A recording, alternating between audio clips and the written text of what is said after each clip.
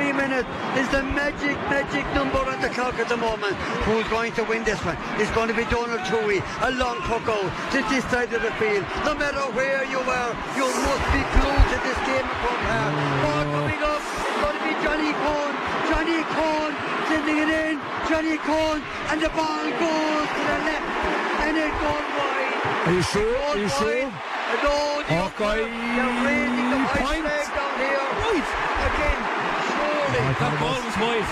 surely the referee is going to be called upon for Hawkeye on this occasion. Can the Hawkeye official call it back to the ref if there's a doubt? It's too late now. The ball has moved on. It's going to come up to Aaron Shanagher. Aaron Shanagher trying to win the ball. Galway lead by one. It's a high ball.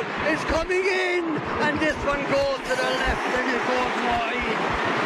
There's exactly 40 seconds left in this All-Ireland semi-final. There's exactly 40 seconds left for Clare to pull something out of the fire. The three minutes are there. There will be an extra couple of seconds on that for the injury.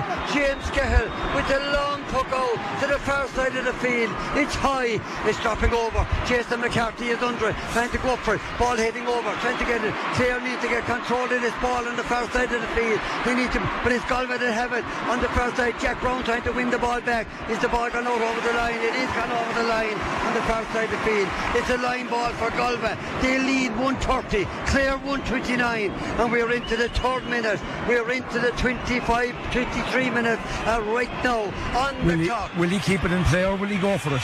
The referee might allow an extra attack, maybe an extra puck out. This would remind you of a drawn All Ireland final in 2013. But at the moment, Galway have a line ball. It's high, it's going in, it goes No, to the no, right, no. and it goes wide. Clare John Doug, John Conlon is out here. but- have to win this ball. It comes out to Colm Galvin. Colm Galvin puts the ball on the stick. Out to Seadna Morey. Clare have to hold on to this. Out to Conor Cleary. Conor Cleary driving forward. Up to David Fitzgerald. David Fitzgerald driving it in. Gets the ball out to Jason McCarthy. McCarthy strikes. And Fire! Men in Kilnamona. has stitched it over the bar. The man with the flashy boots